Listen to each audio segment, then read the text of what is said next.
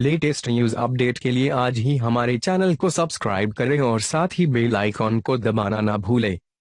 भारत को world cup दिलाने में तो टीम के हर खिलाड़ी का योगदान रहा है, लेकिन आज हम आपको भारतीय नेत्रहीन क्रिकेट टीम के ऐसे खिलाड़ी के बारे में बताएँगे, जिन्होंने भारत को उन्नीस सौ अठानवे में नेत्रहीन वर्ल्ड कप के सेमीफाइनल में ले जाने में महत्वपूर्ण भूमिका निभाई थी। उन्नीस सौ अठानवे में भारतीय नेत्रहीन क्रिकेट टीम को वर्ल्ड कप के सेमीफाइनल तक ले जाने वाले खिलाड़ी भालाजी डामोर आज अपने गाँव में भैंस चराने को मजबूर है। डामोर पहले नेत्रहीन वर्ल्ड कप के मैन ऑफ़ द सीरीज़ थे।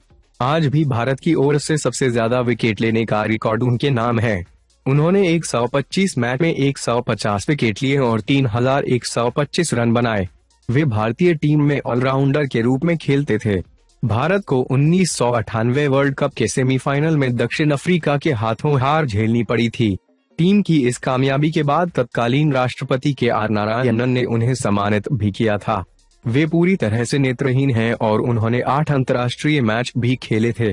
वे बताते हैं कि वर्ल्ड कप के बाद मुझे उम्मीद थी कि एक नौकरी मिल जाएगी, लेकिन मुझे खेल या विशेष योग्यजन किसी भी कोटे से नौकरी नहीं मिली।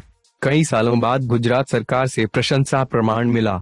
आज वे अरावली ज़िले के गाँव पिटराणा में अपने भाई के साथ एक एकड़ ज़मीन पर खेती कर घर चलाने की कोशिश करते हैं। इससे उनके परिवार की जरूरतें पूरी नहीं होती और दूसरी जगह शारीरिक कमज़ोरी के चलते काम नहीं मिलता। उनकी पत्नी अनु खेतों में मजदूरी करती है। दोनों का एक चार साल का बेटा भी है।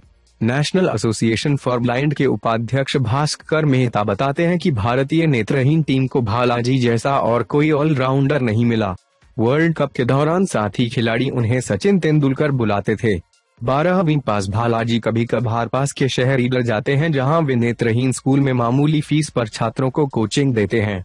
पूरा मिलाकर उनके परिवार की माँ से कमाई तीन हज़ार रूपए है, जबकि सत्रह साल पहले उन्नीस सौ अठानवे वर्ल्ड कप में उन्हें पाँच हज़ार रूपए का नकद इनाम मिला था।